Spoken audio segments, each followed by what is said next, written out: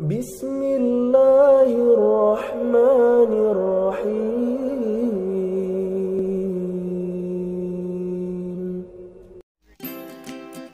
Bismillahirrahmanirrahim Assalamualaikum warahmatullahi wabarakatuh Gimana kabarnya anak-anak solih solihah hari ini?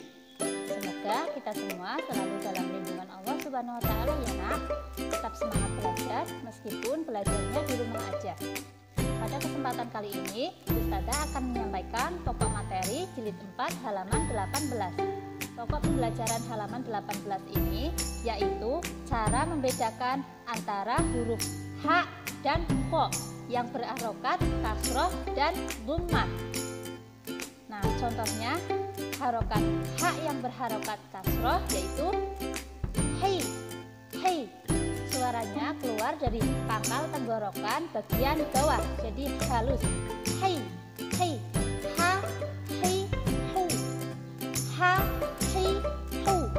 Sedangkan huruf ko itu keluar suaranya dari pangkal tenggorokan bagian atas sehingga agak bergetar.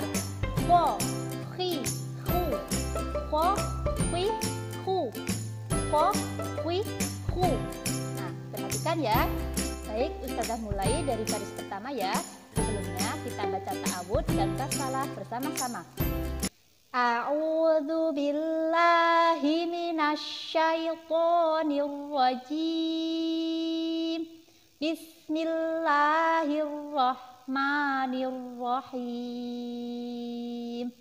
Baris pertama.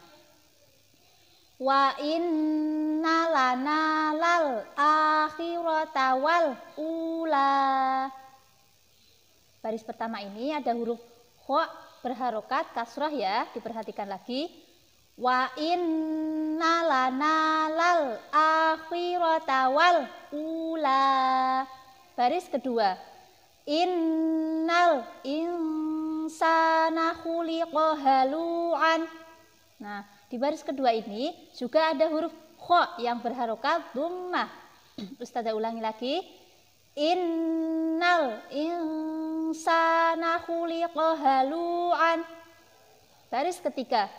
Fayah lifuna lahu kama lifuna lakum.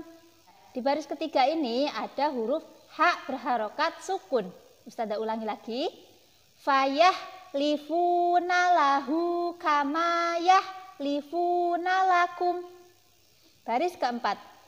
Fasyaribuna alaihi minal hamimi. Nah, di baris keempat ini ada huruf H lagi ya. H berharokat fathah. Ustazah ulangi lagi, sekali lagi ya. Fasyaribuna alaihi minal hamimi. Baris kelima. Falaula ida balaghatil hulquma. Ustazah ulangi lagi. Falaula ida balaghatil hulquma. Sekarang baris terakhir. Wa antum hina idin tangburuna. Ustazah ulangi lagi, sekali lagi, baris terakhir. Wa antum hina idin tangburuna. Sadaqallahul azim. Allahumma rahamna bil Qur'an. Demikian pembelajaran pada hari ini ya. Semoga menambahkan pengetahuan untuk anak-anak dalam belajar kiroati. Tetap semangat belajar dan semoga Allah meridhoi usaha kalian dalam belajar Al-Quran. Sekian dari Ustazah, sampai jumpa di video pembelajaran berikutnya. Wassalamualaikum warahmatullahi wabarakatuh.